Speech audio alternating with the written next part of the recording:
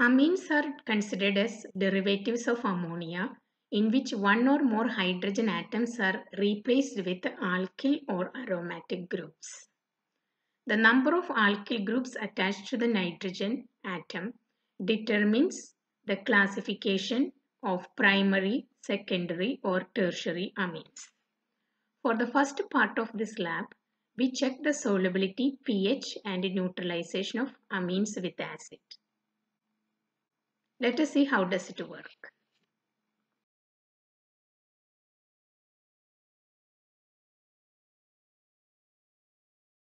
First check the solubility of amines with water. For that I am taking 5 drops of each amines.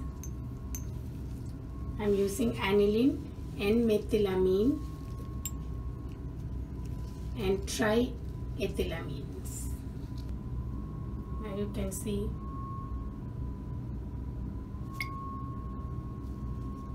aniline and trimethylamine.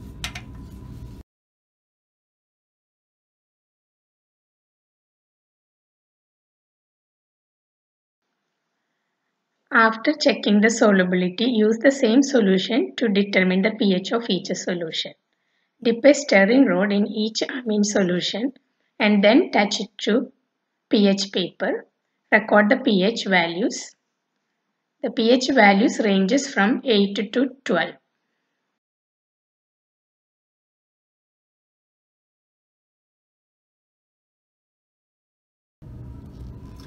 I added 15 drops of 10% HCl to this amine solution in order to make it acidic. The blue litmus paper changed to red.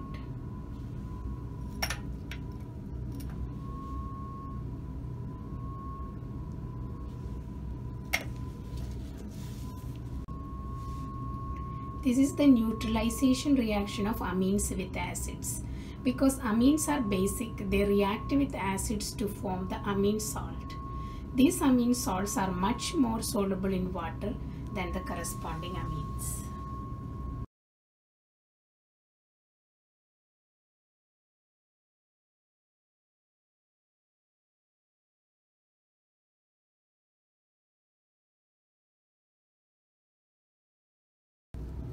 Next we check the solubility of amides.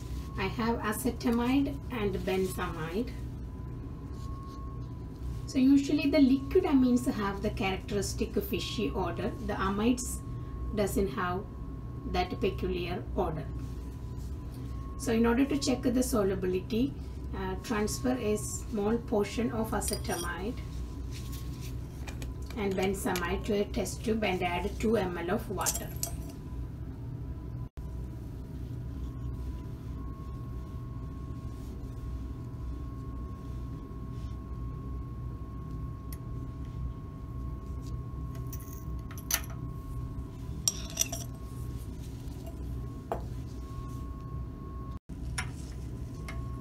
You can see acetamide is a soluble benzamide is not soluble in water because of the large carbon ring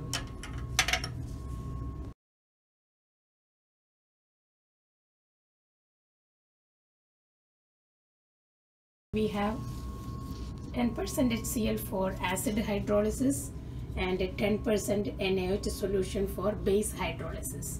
So I have two sets of uh, tubes. These are acetamide and benzamide in water. So acid hydrolysis produce the carboxylic acid and ammonium salt. In base, the hydrolysis reaction produce the salt of the carboxylic acid and ammonia. The order of ammonia and the reaction of ammonia with litmus paper are used to detect the hydrolysis reactions. So now we add 2 ml of 10% HCl to one set.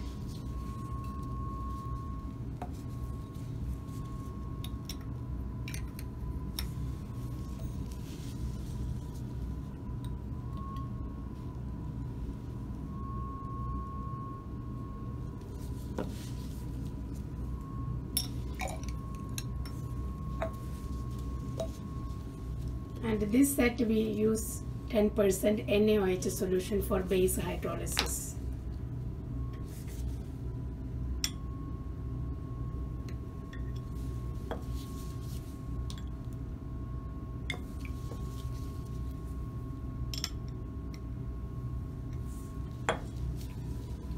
Now these two sets we had to transfer to a boiling water bath to initiate the hydrolysis reaction. So make sure you label the tubes properly before putting the water bath and wait for 5 minutes. Wet red litmus paper with deionized water and we have to place it on top of these tubes in the water bath. Now you can see the red litmus paper changing to blue in the base hydrolysis reaction due to the release of ammonia gas.